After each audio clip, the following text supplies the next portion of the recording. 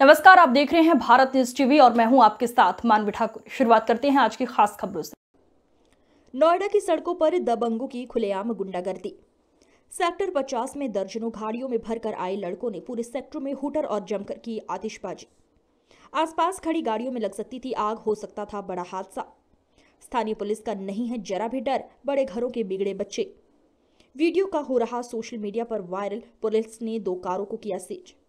Sector उनचास थाना क्षेत्र के सेक्टर 50 का मामला, जाँच में जुटे पुलिस।